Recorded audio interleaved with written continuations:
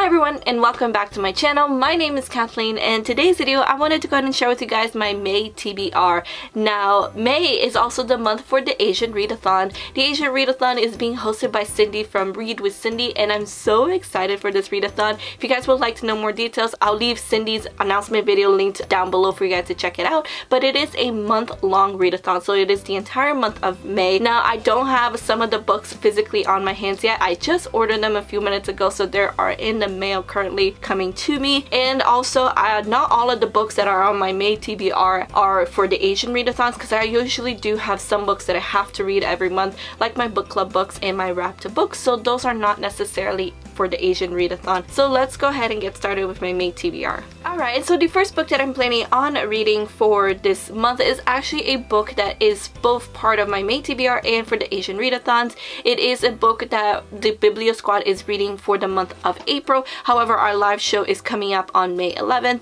and it is Descendant of the Crane by Joan He. This is actually a Chinese inspired fantasy and it is about a girl, she's a princess and her father, the emperor, gets murdered and she becomes the new ruler of her very unstable kingdom. So it sounds fantastic. I absolutely love Chinese inspired fantasies. I haven't read that many of them so I'm excited to dive into this book. I've been hearing a lot of great things about this book so far but again as I said this is the Biblio Squad's book pick of the month for the month of April. Our live show is on May 11th so if you would like to read this book with us and join us for the live show it is going to be on GSwizzel Books channel which I'll leave a link down below for you guys.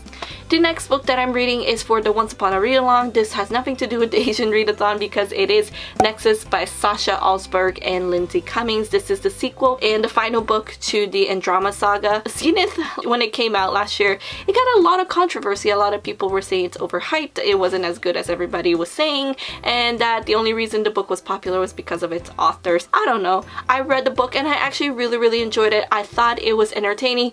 Granted, no, it is not the best book in the world. It is not the most original idea, but I still enjoyed the book. I thought it had a lot of good entertainment value, and so I'm excited to read Nexus. It is a sci-fi book set in outer space, and I'm all for that. This book is not out yet. It will be out on May 7th. Alright, and then the third book that I'm planning on reading this month is not part of the Asian Readathon because it is my wrapped book. So in case you guys are new to my channel, my wrapped books are where I took 12 of my most unread books. These are books that have been sitting on my shelves the longest and I didn't see myself reading them anytime soon. So I wrapped them and every month I unwrap one and I force myself to read it that month. So we'll see what book this is. Every book that I have has a number on the spine and so I asked my friend Chloe from the Brunette Bibliophile to choose a book for me and she chose number 7 so we're gonna see what book number 7 is.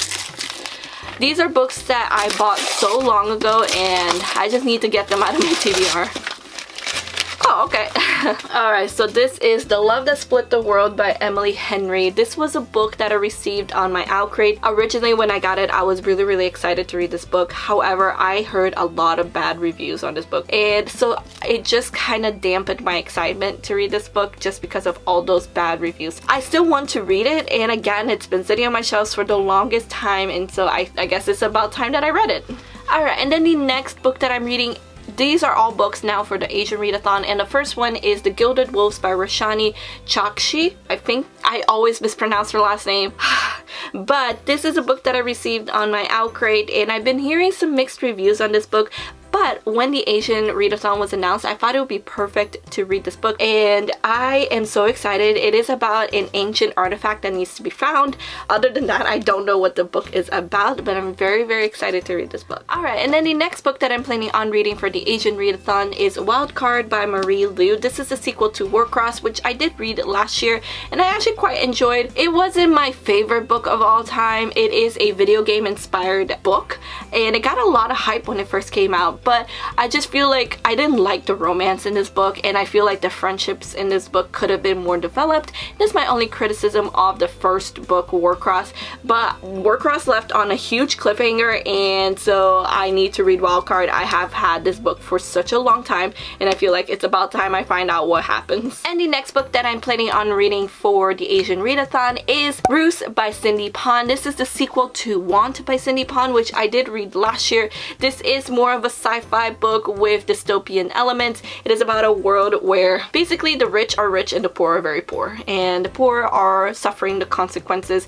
of a environment that has been incredibly polluted. There are these suits that people from this world have to wear in order to stave off the effects of pollution and obviously the poor they can't afford to wear these suits so they die off at a faster pace than the rich people who can afford to wear a suit and basically this is a story where our main protagonist kind of wants to close the gap between the poor and the rich.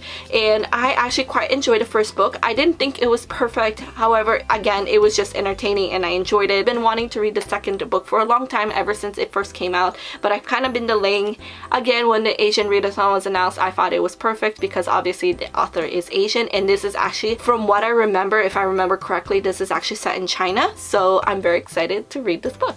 And there you go guys, that is my May TBR, my Asian readathon TBR mixed into one. Let me know in the comments below if you are participating for the Asian readathon and what books you're planning on reading because I would really really love to know what books you chose for your TBR. Anyway guys, thank you all so much for watching. I really hope you enjoyed this video.